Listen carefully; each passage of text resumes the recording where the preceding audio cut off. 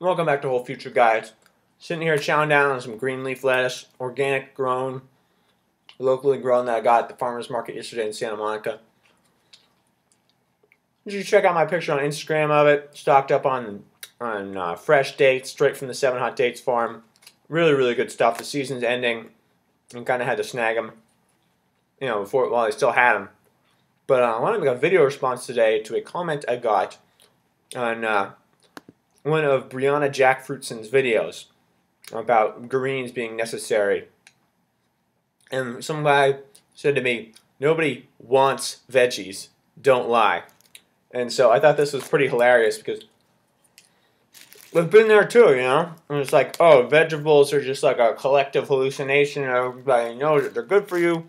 Nobody actually likes them. People just pretend, oh, I love kale, you know, blah, blah, blah. When really they don't like it. And, and so let's take a look at I eat pears here. Looks like a pretty healthy dude. I don't mean to single you out, but see, do you have videos? I eat pears.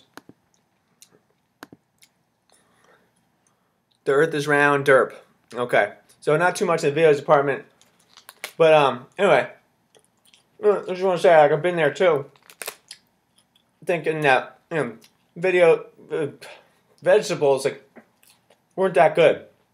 And I'll tell you, most people have to beat the living hell out of their vegetables, get them into their face. They gotta like, you know, drown them in salt or oil or cover them in barbecue sauce or who knows what other concoctions to like just mute out the taste, right? So they smother them in grease and stuff like that.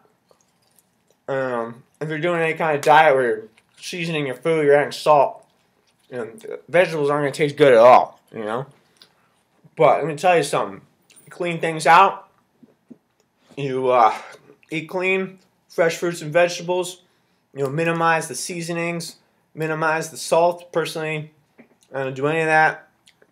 Right now, I eat 100% raw vegan diet, fruits and green leafy vegetables like this. And let me tell you, we've been doing that for a while, and your palate's cleansed. I mean, this is just like is like eating a bag of Fritos for me. I mean, seriously, I'm gonna sit here and munch this down. You know, mm. delicious. Don't need to put nothing on it. You know, um, but you know, I feel you, dude. I feel you, bro. You know, nobody really like most 99.9% of people don't really like vegetables.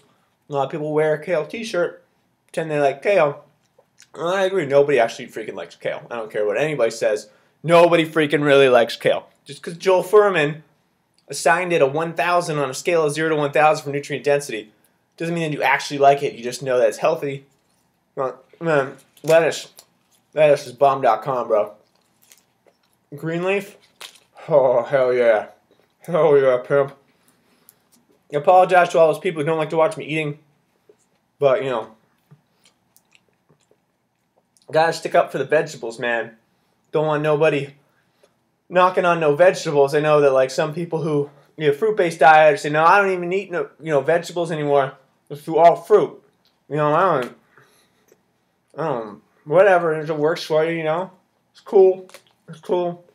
Now a day goes by, I don't want something green and leafy. Now sometimes my vegetables would be like cucumbers and celery and peppers. I don't know.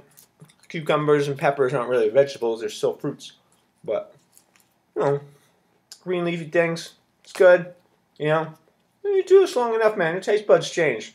And you crave this kind of stuff. And you can eat lettuce plain. If you're really hungry, lettuce like this with nothing on it tastes amazing. That's my message to all y'all people who don't have faith that people don't actually like vegetables. Some people like vegetables. I didn't like vegetables probably like 30 years.